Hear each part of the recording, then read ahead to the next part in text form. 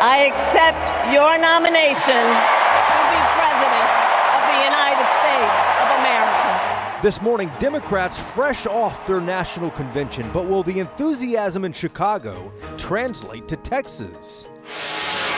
State Rep Ron Reynolds excoriated by fellow Democrats for being the first to call on Harris to replace Biden.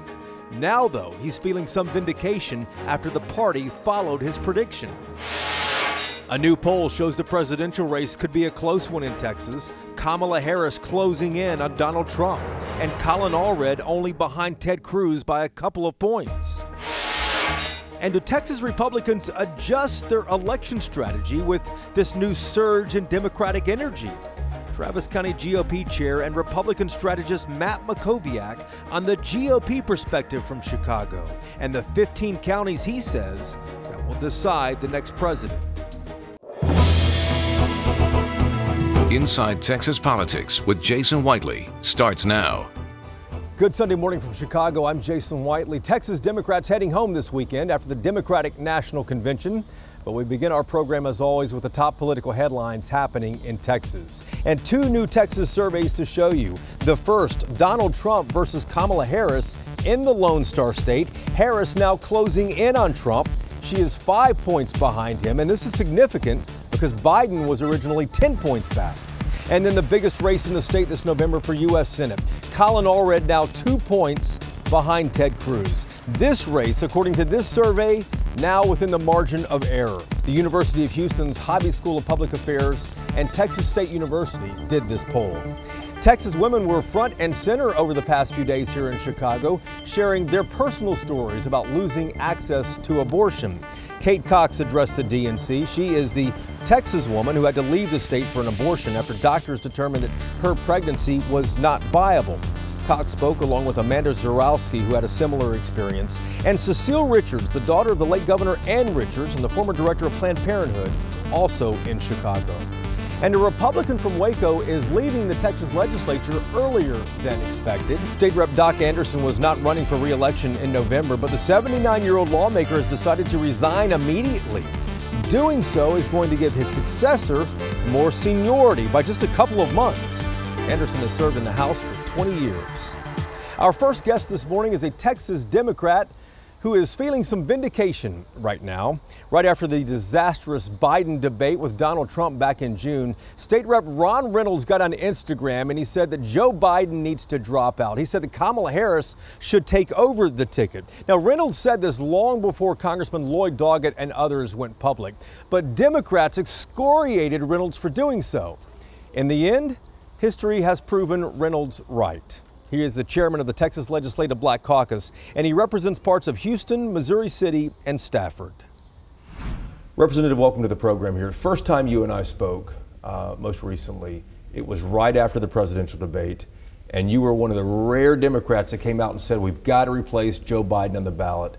You were excoriated for that position. I was. In fact, I was told that I would be primaried. I was a DINO, a Democratic name only. I Democrats was, told you all this? Yes, that I should uh, be stripped of my delegate status, that I should not show up at the convention, that uh, I was not loyal to the party and the president. That, that's what I was told. What's your reaction now? Well, uh, I think that the proof is in the pudding. We see record fundraising, we see record enthusiasm, uh, there's optimism, there's energy, it's electrifying. So I feel validated, I feel vindicated. I feel a lot of those same people, they didn't say, hey, I'm sorry, but they did say, I'm glad that she's the nominee. People are so happy and joyous. We've seen long lines to get into the United Center. We've seen people on waiting lists for delegate for, for credentials to get into the United Center. That didn't happen when President Biden was the our official nominee. There was a lack of enthusiasm. There was a almost certainty that we were going to lose to former President Trump. The challenge for Democrats is going to be taking this energy and enthusiasm in Chicago and taking it back to Texas to try to get the vote out. How challenging is that going to be? Because your constituents majority Texans aren't in Chicago. They aren't seeing this. They aren't feeling this. They aren't experiencing this. You're absolutely right. That's the job of the delegates, elected officials, and our precinct chairs and Democrat enthusiasts is to take that message back to the masses, to the low propensity voters, to people who are working their jobs and just trying to pay their bills, making ends meet, that aren't even thinking about the election. I, it's not going to be easy. I'm not going to sit here and lie and say, oh, yes, we're about to turn Texas blue. But I do think that it's plausible. It, the demographics are there. There are more African Americans in Texas than any other state. Kamala Harris is an X factor that I think is going to be very pivotal in helping flip some seats that we need in the Texas House. One of the things I've noticed is that Democrats love the energy and enthusiasm that, that's going on right now inside the party, but there are still some Democrats that are running away from Kamala Harris. How's that going to pan out? What does that mean for down ballot races like yours and, and so many others across the state? Well, here's the thing. I, I, as someone who's chair of the Texas Legislative Black Caucus, I can tell you that our community, the African American community, is fired up. You know, uh, the vice president went to a historically black college and university that's known as HBCU. She's in a sorority, Alpha Kappa Alpha. The, the, the, the, the enthusiasm I've seen for those groups is electrifying. And so I do believe that down ballot is going to help those candidates, particularly in the urban centers, Houston, Dallas, San Antonio. I believe that there are going to be Democrat pickup opportunities that we're going to see. I don't know how much it plays out in the rural areas, but I do believe in the urban centers, they're going to run up the score to give Texas a chance to, to, to turn blue. Now, I'm not saying it's a guarantee, but I do believe that Texas is in play. Texas is one of the states. You think the, you think Texas is in play? They're, they're, Texas is one of the states. It's not in the first tier where you're talking about Arizona and not a battleground. No, not a battleground, but it's in the second tier. When I'm talking to the party activists, I talked to DNC Chair Jamie Harrison. What do they say? Te- they're saying yes, we're looking at Texas. So they're they're not saying yes, we need Texas to win, but they see Texas as an opportunity, particularly with the Senate and the balance of power being so close. They are putting enormous resources in Colin Allred's race for a U.S. Senate. Are there any pitfalls in the road ahead for Kamala Harris over the next two and a half months? Well, she, th- this is going to be a very tough race. I think there's still some people, quite candidly speaking, that are very concerned that a woman can be the president. I think that we're ready to break that glass ceiling. There are others who are saying maybe she has a double negative because she's an African American, Indian, and female. I think that we're going to have to break that cycle. And so that's a challenge that she's going to have to overcome. And I hope that the American people are ready to embrace that diversity, uh, gender and ethnic. I think we, you know, Obama, he broke glass ceilings in, in, in, terms of the race. And I think it's far time, we've seen Shirley Chisholm, we've seen Geraldine Ferraro, and we've seen Hillary Clinton. I think this, the, they say the fourth time's the charm. Representative, thank you for the time. Thank you. You know, Democrats are rarely as united as Republicans, especially in Texas. But the one question that I've been asking Texas Democrats here at the Democratic National Convention what can they do with all this energy and enthusiasm in this city? Will it translate back to Texas? And that's a conversation I had with State Senator Royce West, a Democrat who represents Dallas. In, in, in terms of Texas, let's talk Texas for a second. The question is, is how do we leave, how do the delegates here in Texas leave here? You know, we'll be pumped up. We'll be, as we have been in other conventions. The question is, how will that look on the ground once we get back. Can it translate? I think it will translate. And, and, and, and in part, it goes back to the question you just asked about Kamala Harris. Uh, that people are excited about her in Texas too. And, and then the suburban women in Texas, and you, you, you can help me with this, Jason. Uh, how do they feel about abortion? How, how, how are suburban women feeling about abortion in Texas? Are they okay with the laws as they are? Or do they want their rights back? Do they want their freedom back? And if they want their freedom back, you can be assured that they're going to be voting Democratic. The debate on September the 10th is going to be very uh, important, where Trump has been uh, personalizing this, calling her names. Uh, and what, she, what did she say? Say it to my face. Okay, you got to make sure you understand. She, it was very diplomatic the way she said it, but you got to make sure you understand what the intent was behind it. Say it to my face. And it's going to be interesting whether or not he's, he's going to be able to say it to her face, all of the stuff he's been saying. When we come back this morning, we'll talk to a Republican about what November now looks like after the Democratic National Convention. Matt Mackowiak, chairman of the Travis County Republican Party, is up next with us. Inside Texas Politics, back from Chicago in just a moment. Welcome back to Inside Texas Politics. Our next guest this morning says that the presidential race is going to be decided by 15 counties in this country. Counties, not states. Matt Mackowiak chairs the Travis County Republican Party, and we wanted to know whether Texas Republicans now change anything about their November election strategy after what they saw Democrats do here in Chicago. Matt, welcome back to the program here. Uh, I want to ask you about what things look like immediately after the Democratic National Convention. Obviously, Kamala Harris, Tim Walz will get a convention boost like Donald Trump did after Milwaukee. What do Republicans do differently now, if anything, in Texas? Yeah, look, I think uh, the, the question now is um, is has has Harris's kind of free ride come to an end? Is the rise that she's had over six weeks, which has been meteoric, um, is that now going to be sustained by anything that's real? Um, this race now, as we get closer to Labor Day, really becomes about issues, um, and it becomes about the things that matter most to voters. Uh, the Democrats did a good job introducing her, of having this unprecedented switch, of pulling off a convention that attracted a large TV audience, of having some impressive performances. I think the challenge the Dems have now is two things. One, uh, if she has so many good ideas about how to make things better, why hasn't they been doing that for three years? But but two is, you know, what are her policy ideas going to be? Why has her opinion changed on so many things? Uh, and when is she going to start answering actual questions? She's gone something like 30 days without receiving one adversarial question from a member of the media. So uh, for, for the Trump team, uh, they need to make this race about the economy and about immigration. And if they do that, they're going to win. Uh, if this is about personalities, it's about looking backwards. If it's about abortion, then Harris has a chance to win. And I think the stakes almost have never been higher in a national election at any time in my life. Well, what do you expect this to look like? A, a race on personalities or a, a, race on policy? Yeah, I mean, the Dems are trying to make it about personality. You know, they, they, are running on on joy, whatever that means. Um, I don't think a lot of Americans are, are feeling joy about the state of the country right now. Um, but that's what that's what they're trying to do. They're trying to make it a personality battle. And look, Donald Trump's strengths and weaknesses, I think, are well understood by 100% of the people that live in America. Uh, you know, it's all been baked into the cake. It's all been priced into the stock.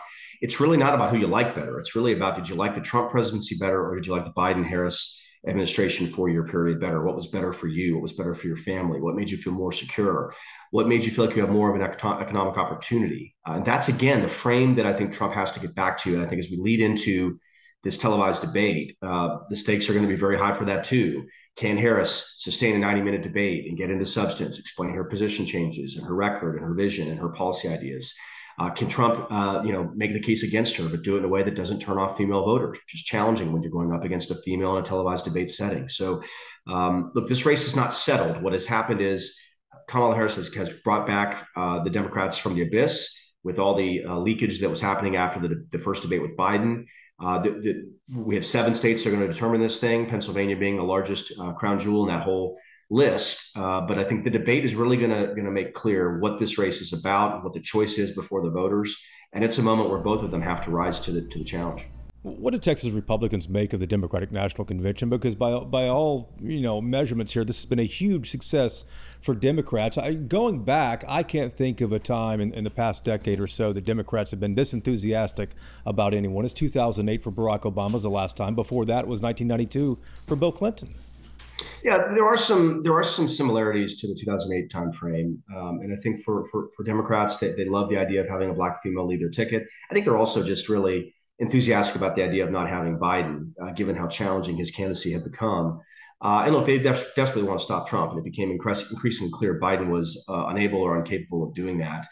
Uh, but look, they've all been swept up in this uh, six-week free ride she's had, where she hasn't had to answer questions, hasn't had to detail anything about policy, doesn't even have a policy site on her website. So, again, all that's coming to an end. When Labor Day comes around, voters start paying attention campaigns start spending real money, debates happen, things change, and the race is going to settle. This is still going to come down to seven states. It's probably going to come down to two or three states. It's probably going to come down to 15 counties in two or three states.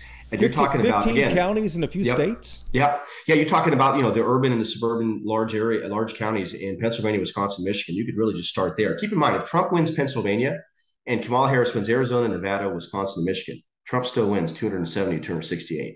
That is how important Pennsylvania is, right? She can flip four battleground states and still come up short. So I think it, to some extent, Pennsylvania is going to simplify this for all of us. If Trump wins Pennsylvania, it's very hard for him to lose. If she wins Pennsylvania, he's going to have to put some other states together and create other pathways. Before we go and I ask you about the largest race in Texas, Ted Cruz versus Colin Allred, how does this shake out with two months left? Yeah, look, Allred's going to put $100 million into this thing and hard and soft money. Um, and, you know, on paper, I think he has the chance to be an interesting candidate. It really hasn't really come together the way I thought it would. And I think the fact that now Kamala Harris is the nominee, I don't think she's going to close the gap in Texas. I think Trump will win Texas by more than he did in 2020, which was 5.7%. I think he's actually going to expand that. And if that happens, there's no pathway for Allred to win. But look, Cruz is running very hard. He's running very scared. He's working uh, every single minute of the day. His schedule is absolutely insane. Uh, and that race is going to get a lot of attention. It's really the only pickup opportunity the Democrats have in the map in, in, in 2024. And so they are going to put significant resources into Texas. But so far, Allred has not made the sale. He's got to find Trump voters who will vote for Allred, and that's a very difficult task. Matt, good to see you. Thanks, man. Thanks. God bless. The roundtable is ready when we come back here on Inside Texas Politics from Chicago.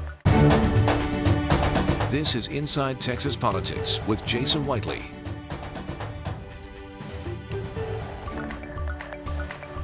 All right, time now for Reporters Roundtable to put the headlines in perspective. A lot of headlines happening over the last week, especially here in Chicago. Ayan Mittra is with us from Austin, the Texas Tribune. Bud Kennedy, columnist at the Fort Worth Star Telegram, and Bernadine Steptoe, of course, political producer at WFAA in Dallas. But let's start with you. The TV audience for the Democratic National Convention here in Chicago. It was huge in Florida. It was huge in Pennsylvania, a major battleground state there, but not Texas.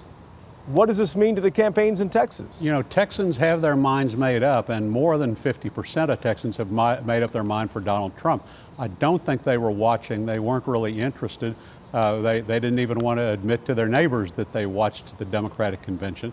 You know, it just Texas is not fertile ground for watching the Democrats, although probably a few more people watched this year than have in previous years. Ian, what do you make of those viewership numbers? Well, it's also looking at how the you know how the Democratic committee was holding their convention too. You know, Kamala Harris's campaign has said that they're not really going to focus because of the tightened schedule. They're they're not going to focus and invest in Texas. And so, you know, while we saw a couple of Texans up on stage, they weren't prominent. So there was just definitely a a disconnect uh, when it came to like how Texas uh, was featured at the convention. Bernadine, on Thursday night, it, it, was kind of striking that we saw Colin Allred up there. Of course, you know, the Democrat running for Congress against, uh, running for Senate rather, against Ted Cruz. It was interesting because he had faced so much questions and criticism over not being seen with Kamala Harris on three recent visits to Texas here. What do you make of, of, of his brief speech up there and the viewership numbers as well? Well, he understands that the momentum is now behind Vice President Harris. And you know what? people in Texas were watching. They might not have been watching in the large numbers like they were in Pennsylvania or other areas, but they were watching. And I think that that's what uh, Alden, the Colin Allred understands, that he does need the support and the momentum that is behind Vice President Harris. And you know, Bud, the, the poll that came out from the University of Houston and TSU there in Houston shows uh, the, the race tightening for president in the state. It goes back to the similar margin that Trump won by four years ago. Um, but Kamala Harris is gaining ground on Trump. And more importantly, the Allred and Cruz race is now within the margin of error.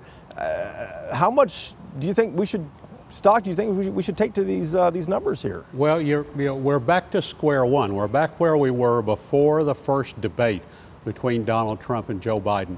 Uh, Texas is like it's always been for several cycles now. Texas is about 50% Republican, about what we used to say 40% Democrat. I, now I'd say about 43% Democrat and about 7% independent. For Colin Allred to win an election, he has to win all 7% of those independents, and he has to get some of those suburban women who are voting Republican otherwise, he has to convince them that he's a better choice uh, for, uh, uh, he agrees with them on abortion and that they should vote for him over Ted Cruz. Texas is still very much a Republican state. We're kind of back to where we were a month and a half ago. And Bernadine, Texas Democrats obviously love to see this poll. They love these numbers. Do you believe them? Yes. But I don't believe that the Democrats are going to win Texas. Now, I don't, that, that's a given. But you do see the polls are tightening because those candidates, the Republican candidates, are not necessarily as well liked. But I think that there's sooner or later down the road, you're going to see them even tightening more. But Texas, Texas is still heavily Republican. But you do see that there are some areas of, of growth for Democrats, and they recognize that as well. And I am based on the poll, based on the, the tremendously successful week by all accounts that Democrats had in Chicago. Does this change any election strategy for Texas Republicans? Well, they're going to still kind of hammer home the messages that, that you're, you're hearing too. They, they still want to talk about the immigration. They still want to hammer the uh, the administration on the economy. They're they're going to stick with those because those they think those are winning uh, arguments for them. So they'll stick with that plan and uh, and and see how it goes. But certainly there's a national kind of wave of interest uh, with the Harris campaign that they're going to have to fight up against. And Bud, final question on that same uh, note there. Can Harris sustain this momentum? Well, women are interested now. Women were not interested in this election before until Kamala Harris ran. A third of women voters, women Democrats, said that they weren't going to vote. Now they are going to vote. Women are more involved. The race is close again. And those independent women as well. And the poll. Oh, I'm sorry. The, the independent women, and, and you know, the, the, the, independents do lean conservative in the state. Bud, Bernadine, I, and thanks so much for the input as always. We're back next Sunday to take you inside Texas politics. Hope you can join us then. We'll be back in Texas by then as well. We'll talk to you then. We'll see you next Sunday.